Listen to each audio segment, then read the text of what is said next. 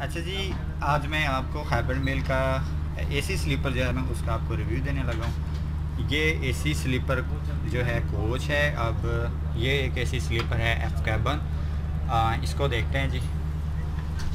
ये मैंने door open करके इसको मैंने, मैं अंदर आ गया हूँ। अच्छा जी, ये हमारे पास इधर फ़ैन है, ऊपर। और फ़ैन के साथ यहाँ पे स्विच है, फ़ैन चलाने के लिए यहाँ से फ़ैन चला सकते हैं। ये साथ बेल का बटन है और साथ यहाँ पे कंट्रोल स्विच है वॉल्यूम कंट्रोल के लिए। उसके बाद ये ऊपर एक लाइट है। इस लाइट को आप ऑन कर सकते हैं ऑफ़ कर सकते हैं। और इसी तरह ये साथ बाहर का व्यू देखने के लिए यहाँ से आप इसको खींच कर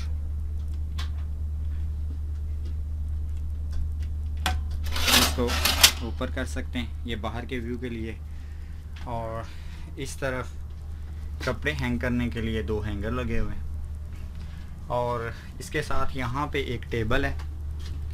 टेबल के साथ गिलास वगैरह रखने के लिए स्टैंड बना हुआ है।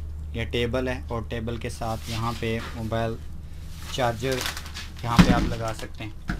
ये चार्जर स्विच है और अगर दूसरी तरफ़ देखें तो यहाँ पे एक बड़ी सी जो है वो सोफ़े की टाइप की सीट है और उसके ऊपर एक यहाँ पे सीट है और इसको आप यहाँ से नीचे करके ये कर सकते हैं। और अगर इसकी दूसरी तरफ़ देखें तो ये बिल्कुल ख़ाली है और इधर सामने जो है वो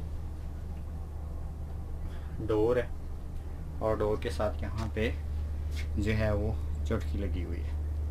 ऊपर यहाँ पे लाइट है और यहाँ पे इसके साथ एसी लगा हुआ है।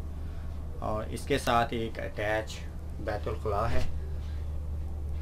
इसके साथ जी बैतुलखला है और इसको यहाँ से हम ओपन करते हैं। और अगर हम बैतुलखला में देखें तो यहाँ पे एक शीशा लगा हुआ है। और शीशे के साथ यहाँ पे सोप वगैरह के लिए और यहाँ पे हैंड वॉश करने के लिए। और साथ लिखा हुआ है कि पानी पीने के लिए मौजूद नहीं है। और इसके साथ यहाँ पे टिशू हैंगर है और साथ नल वगैरह लगाने के लिए और साथ यहाँ पे एक कचरा दान पड़ा हुआ है।